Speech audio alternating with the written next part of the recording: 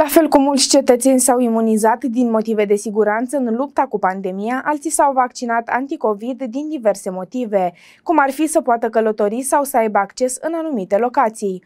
Totodată se pare că cei care vor să meargă în vacanță în anumite țări vor trebui să prezinte în continuare un test PCR negativ la intrare în țară, chiar dacă au făcut vaccinul împotriva COVID-19.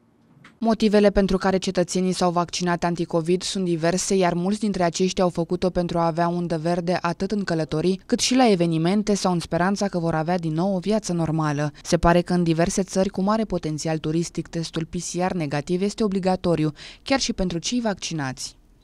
Deci eu care călătoresc mult nu, nu văd de ce mă obligă cineva să-mi fac testul, să-mi fac vaccinul și să-mi fac de atâtea ori testul când eu Poate plec de 5-6 ori pe an.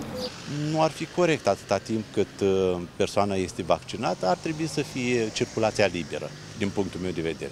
Dar uh, sunt politici și politici care uh, noi suntem prea mici ca să schimbăm lucruri la nivel macro, macro-univers. Multe persoane și-au pus întrebarea dacă sunt vaccinat, de ce să port mască și să am restricții. Ei bine, se pare că dovada vaccinării nu este suficientă în anumite situații. Așa se pare.